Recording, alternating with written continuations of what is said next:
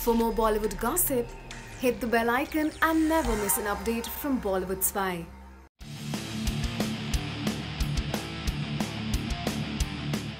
सलमान खान और कटरीना कैफ बॉलीवुड के वो कपल हैं जिन्होंने कभी भी पब्लिकली अपने रिश्ते को ना ही कबूल किया और ना ही इसे कोई नाम दिया ये दोनों पहली बार 2004 में सलमान खान के घर गैलेक्सी अपार्टमेंट में मिले थे उस दौरान कटरीना और सलमान खान की बहनें यास्मीन कराची वाला के जिम में एक साथ वर्कआउट किया करती थी। इसके बाद सलमान और कटरीना एक साथ कई फ़िल्मों में एक साथ दिखे, जैसे पार्टनर, मैंने प्यार क्यों किया, और युवराज। जहाँ एक तरफ़ कटरीना अपने प्रोफेशनल लाइफ में आगे बढ़ रही थी, वहीं सलमान के साथ उनका रिश्ता खत्म होने के कगार पर आ चुका था। बताया तो ये भी जाता है कि कटरीना के किसी को स्टार के साथ लिंकअप की खबरें सुनकर सलमान ने उन पर हाथ तक उठा दिया था। सिर्फ़ यही नहीं, कटरीना के जन्मदिन पर सलमान और शाहरुख के उस घमासान को कोई कैसे भूल सकता है? इन सारी बातों को लेकर कटरीना सलमान से बेहद खफा थी।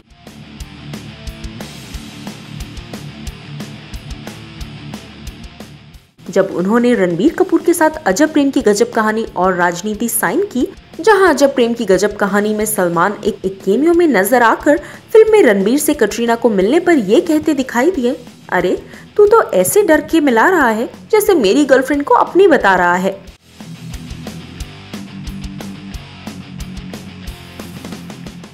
वहीं दूसरी ओर रियल लाइफ में राजनीति के सेट्स पर सच में रणबीर और कटरीना करीब आ रहे थे।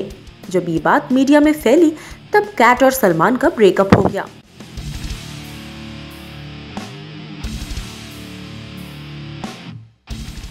कई सालों तक इन दोनों में बातचीत बंद रही।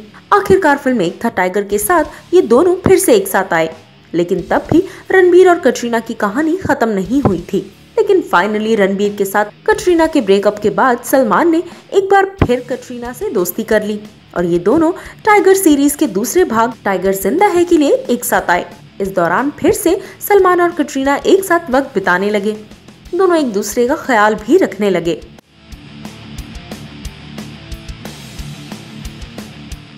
जहाँ एक बार फिर इन दोनों को लेकर मीडिया चर्चाएँ शुरू हुई, वहीं दोनों ने एक बार फिर फ़िल्म भारत के साथ एक साथ आने का फैसला लेकर इन अफवाहों को हवा दे दी। अब ऐसे में ये देखना वाकई दिलचस्प होगा कि आखिर ये दोनों जस्ट फ्रेंड्स रहते हैं या फिर इस कहानी के सब में एवर आफ्टर लिखा जाता है।